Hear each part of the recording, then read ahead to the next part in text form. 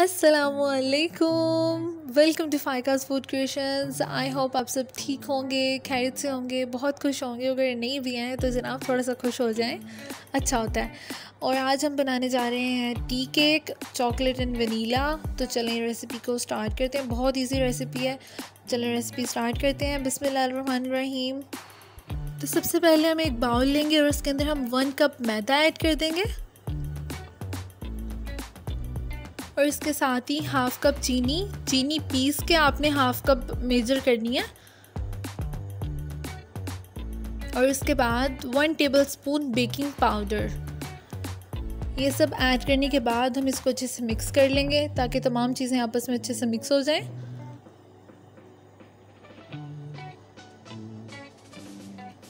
तो ये मिक्स हो चुकी हैं। अब इसके अंदर हम हाफ़ कप दूध ऐड करेंगे।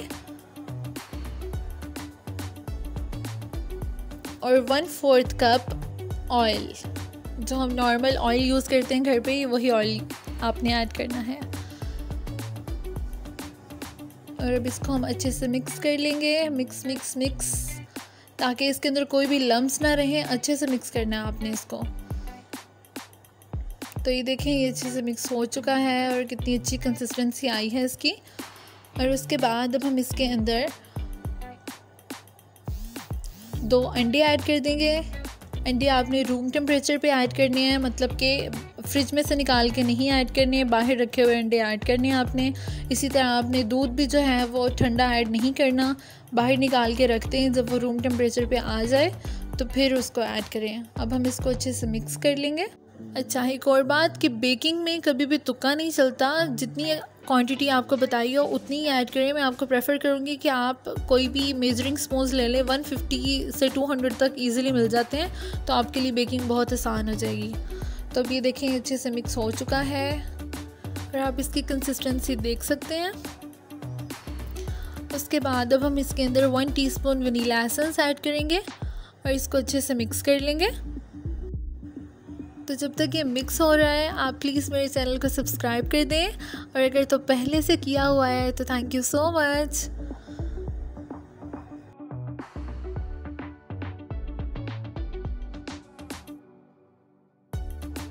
तो अभी अच्छे से मिक्स हो चुका है। अब हम इसको टू इक्वल पार्ट्स में डिवाइड कर लेंगे।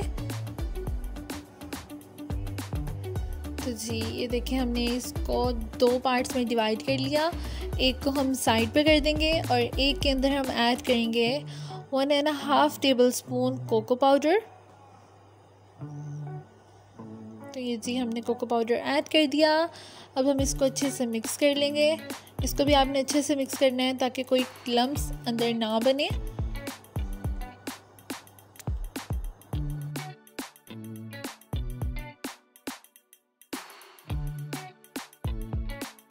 तो जी, ये भी हो गया है मिक्स और कितने मज़े का चॉकलेटी सब बटर हमारा रेडी हो चुका है। अब हमने एक लोफ पैन लेना है।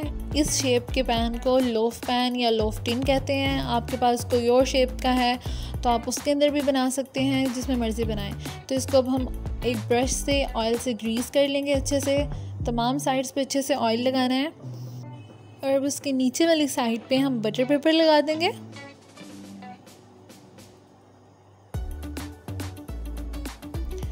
और बटर पेपर लगाने के बाद हम इसको दोबारा से ऑयल से ग्रीस कर देंगे अच्छे से।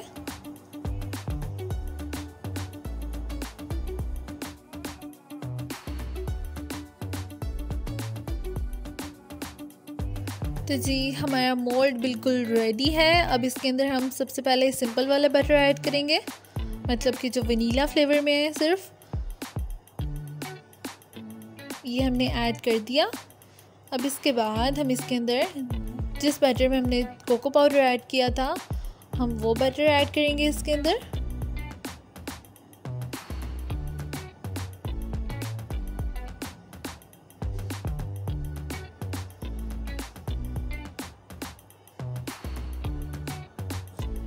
तो बैटर ऐड कर दिया। अब मैंने ये शाशलिक स्टिक लिया आप कोई टूथपिक वगैरह भी ले सकते हैं।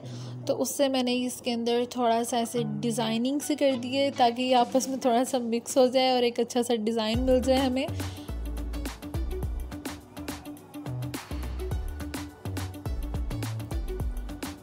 ओके जी तो अब हमारा बटर बिल्कुल रेडी है बेक होने के लिए। तो अब हमने 10 मिनट पहले पतीले को प्री हीट होने के लिए रख दिया था। अब हम इसके अंदर केक पैन रख देंगे और इसको हल्की आँच पर 30 से 35 मिनट के लिए कुक कर लेंगे। तो ये देखें 35 मिनट्स हो चुके हैं और केक माशाल्लाह माशाल्लाह कितना अच्छा बेक हो चुका है। तो इसको मैंने डी मोल्ड कर लिया है। अब हम इसके लिए चॉकलेट सॉस रेडी करेंगे। तो सॉस बनाने के लिए हमें सबसे पहले चाहिए वन एंड हाफ़ कप दूध। और उसके अंदर हम थ्री टेबल स्पून पिसी हुई चीनी ऐड करेंगे। और साथ ही one and half tablespoon cocoa powder and one tablespoon cornflour ये सारी चीज़ें ऐड करने के बाद हम इसको अच्छे से मिक्स कर लेंगे। कोई लम्स नहीं होने चाहिए इसके अंदर। अच्छे से मिक्स करना है आपने इसको।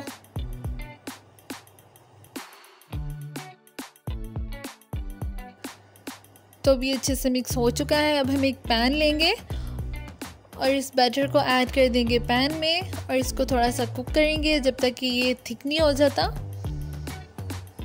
आपने इसको कंटिन्यूसली हिलाते रहना है। तो ये देखें, ये बहुत जल्दी थिक हो जाता है।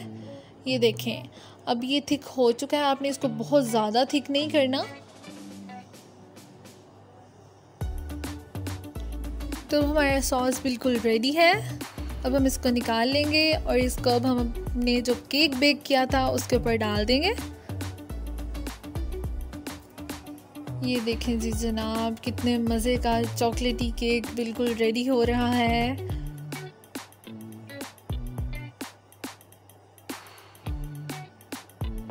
इसको एक बार ज़रूर ट्राई कीजिएगा, ये बहुत मज़े का बनता है, बहुत इजी सा है। अच्छा जी तो मैंने इसको अच्छे से स्प्रेड कर दिया था और जो एक्स्ट्रा था वो मैंने साफ़ कर दिया। अब मैंने चॉकलेट चिप लिए हैं, ये बिल्कुल ऑप्शनल हैं, आप नहीं डालना चाहते, बेशक मत डालें। मैंने थोड़े से चॉकलेट चिप स्प्रिंकल कर दिए हैं इसके ऊपर। तो ये देखिए जनाब, हमारा chocolate sorry vanilla and chocolate tea cake बिल्कुल रेडी है, माशाल्लाह माशाल्लाह, देखें। और अब हम इसको कट करके भी देख लेते हैं कि अंदर से ये कैसा है।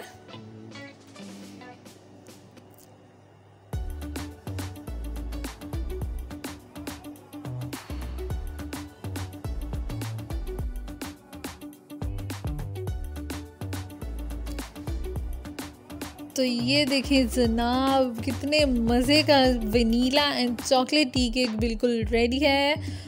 ज़रूर ट्राई कीजिएगा, मज़ा ना आया तो पैसे वापस, ठीक है?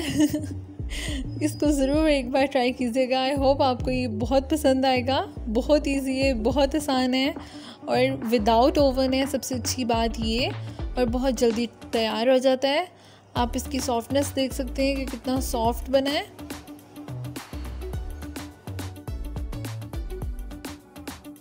ओके जी तो ये थी आज की हमारी रेसिपी उम्मीद करती हूँ आपको ये अच्छी लगी होगी.